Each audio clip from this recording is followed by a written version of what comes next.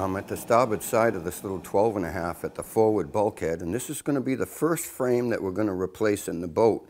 Now, most of the framing from here back's already been replaced. These frames are actually square edge, so they're square frames, and they're put down, they're twisted into place, and that's okay, but for the frame that we're going to put in, we're going to saw it to a progressive bevel or a rolling bevel. And the reason why we're going to do that is so that it will lay against the planking perfectly, but the after face of it will also lay against the bulkhead. I've transferred the degrees from the inside of the boat onto a very light little batten and then what I've done is taken the batten and laid it on this piece of wood and transferred the numbers from the batten onto the piece of wood. Now I've got 8 degrees here, 9, 10, 11, 12, goes up to 15 degrees. I'm going to saw that rolling bevel right here on our little portable bandsaw.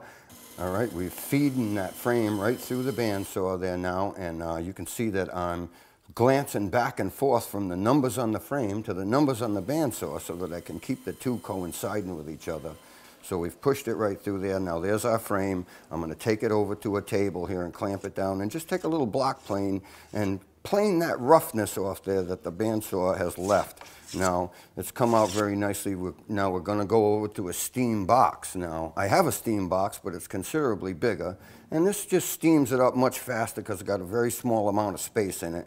This plastic works fantastic. It costs no money whatsoever. I haven't invested any money in materials. It's got some particular advantages that a steam box doesn't have. I can actually put my fingers on the top of the bag while it's steaming and feel the frame to see how limber it's getting as I steam along. That way I can determine if it's ready before I pull it out.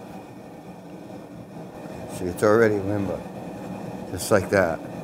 When I do pull it out, I'm actually going to pull it into a piece of pipe insulation so we can deliver it Ready? and it's not going to lose its temperature right away and we can handle it much easier.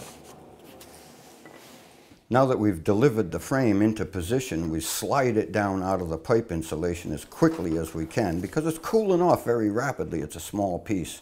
So we bend it into position and then we fasten it in with sheetrock screws actually once we've drilled a hole. And we use fender washers because the planking is so delicate that what we want to do is fasten it down into position very rapidly and then later on we'll replace those screws with bronze screws.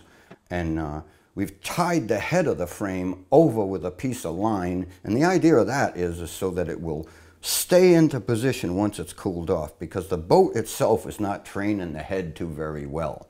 So that's the idea there.